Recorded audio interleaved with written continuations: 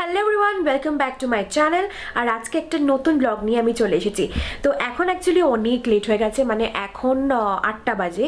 আজকে সারাদিন আমি প্রচুর ব্যস্ত ছিলাম, আজকে শনিবার।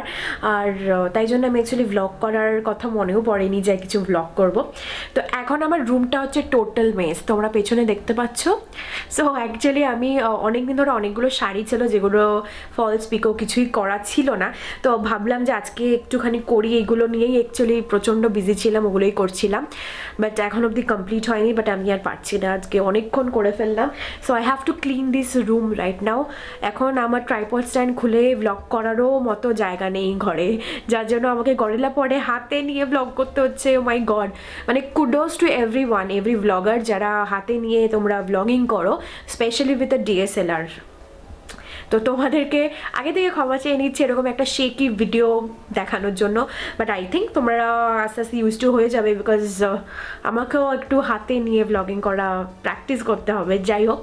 সো আমি চটপট করে রুমটা গুছিয়ে নিই, তারপর তোমাদের সাথে শেয়ার করছি আজকের দিনটা। সো ঘর গোছানো কমপ্লিট আর ইন বিটুইন আমি সুইগি থেকে একটু মোমোজ অর্ডার করেছিলাম, তো সেটাই খেয়ে নিলাম এখন। আর এখন আমি বানাতে যাব ডিনার সো লেটস গো আমি আজকে কি ডিনার বানাচ্ছি আমার মা বাবার জন্য। তো আজকে ডিনারের মেনু হচ্ছে অমলেট কারি ভেজিটেবল ওটস আর বেগুন পোড়া। সো আমি সবার প্রথমে সব কিছু কেটে কুটে রেডি করে নিচ্ছি and তারপর আমি রান্নাটা করছি। যদিও আমি ডিটেলসে ভিডিওটা করিনি but still I want to share with you আমি কী কী রান্না করলাম আজকে। তো সবার প্রথমে আমি অমলেটটাকে করে নিয়ে এটাকে আলাদা সাইড করে রেখে দিচ্ছি। এরপর আমি ফ্রাই করছি আলু, যেটাকে আমি নুন এবং হলুদ দিয়ে মাখিয়ে রেখেছিলাম এবং ফ্রাই করার পর সেটাকেও আলাদা করে তুলে রাখছি। এরপর আমি কড়াইতে গোটা গরম মশলা দিয়ে দিচ্ছি এবং তারপর পেঁয়াজ কুচি ফ্রাই করে নিচ্ছি।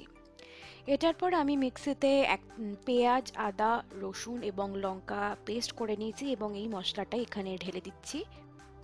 এরপর আমি এর মধ্যে জিরে গুঁড়ো, ধনে গুঁড়ো, লঙ্কার গুঁড়ো এবং হলুদ, নুন, চিনি সব কিছু স্বাদ মতো দিয়ে ভালো করে কষিয়ে নিয়েছি।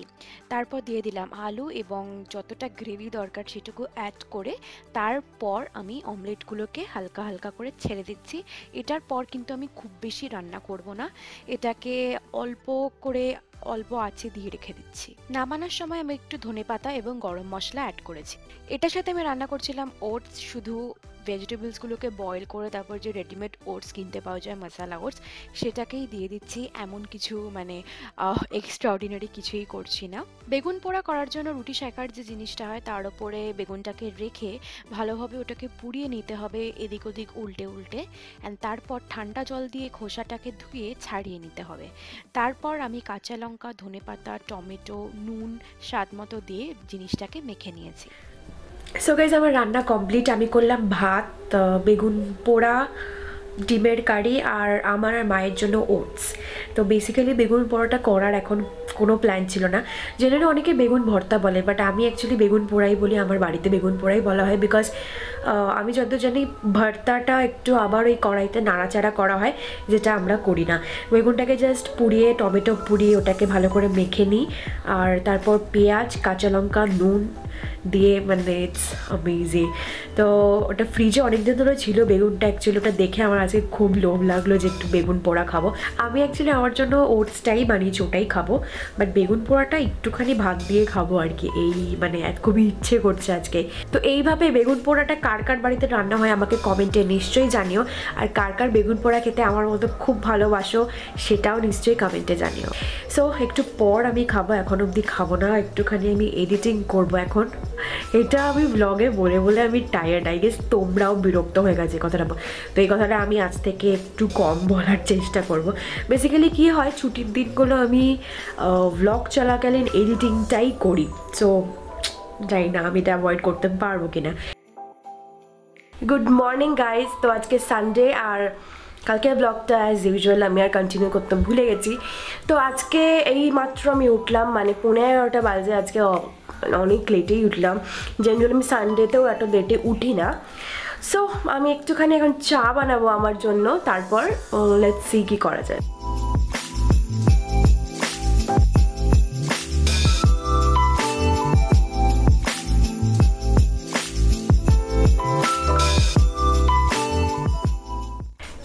নিয়ে চলে এসেছি চা। আর এটা অ্যাকচুয়ালি আমি তোমাদেরকে আগেও ব্লগে বলেছিলাম যে থাইল্যান্ড থেকে আমি একটা চা পাতা এনেছিলাম which I am in love with যেটা এইটুকু পড়ে আছে and my sister is going to come back maybe this week actually আমাদের সারপ্রাইজ দিতে চাইছে। তো জানি না, এই উইকের মধ্যেই ওর আসার কথা টেন্টেটিভলি তো ওকে আমি বলে দিয়েছি অলরেডি তিন প্যাকেট চা পাতারা নিয়ে আসতে বিকজ ওটা আমার এখন একটা মানে ফেভারেট চা পাতা হয়ে গেছে। অ্যান্ড টি ইজ সামথিং যেটা আমি আগে প্রচুর খেতাম, প্রচুর। মানে প্রচুর বলব না অ্যাকচুয়ালি চা খোর যারা হয়, তারা দিনে সাত, আট কাপ, দশ কাপ চা খায়, অতটা কোনোদিনই খেতাম না। মানে ধরো অ্যাটলিস্ট তিন কাপ, চার কাপ চা বা চার, পাঁচ কাপও খেতাম। এত বড় বড় কাপও নয় যদিও বাট ওটাকে এখন আমি কমিয়ে দিনে একবারই করেছি। বা ম্যাক্সিমাম দুবার। এছাড়া আমি খাই না। মাঝে মাঝে এরকমও গেছে যে আমি চাটা খাই না।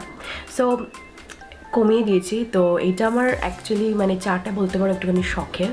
একটু মনের মতো করে চা না খেলে আমার ভালো লাগে না অ্যাকচুয়ালি ওকে সো আমার স্নান খাওয়া সব কিছু কমপ্লিট আমি এখন একটা ওয়েব সিরিজ দেখব। আর হোপফুলি আজকে বিকেলের দিকে একটুখানি বেরোনোর আছে আমার।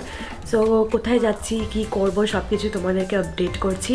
মিনওয়াল আমি এখন চুলটাকে শুকিয়ে নেব বিকজ ঠান্ডায় বেশিক্ষণ ভেজা চুল জাস্ট মানে খুবই অস্বস্তিকর লাগে। সো এগুলো করে ফেলি, তারপর তোমাদের সাথে বিকেলে দেখা হচ্ছে।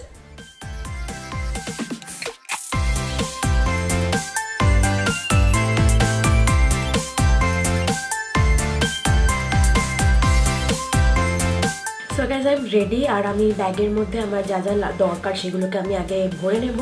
মিনওয়াল আমি এই কম্পিউটারটা বন্ধ করে দেবো বিকজ আমি একটা ওয়েব সিরিজ দেখছিলাম, তো ওটাকে বাড়িতে এসে কমপ্লিট করব